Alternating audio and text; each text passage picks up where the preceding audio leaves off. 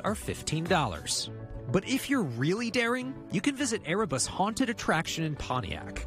But beware, things will grab you, so this is for the real terror seekers. Erebus is open daily through the first week of November. For those looking for something less active,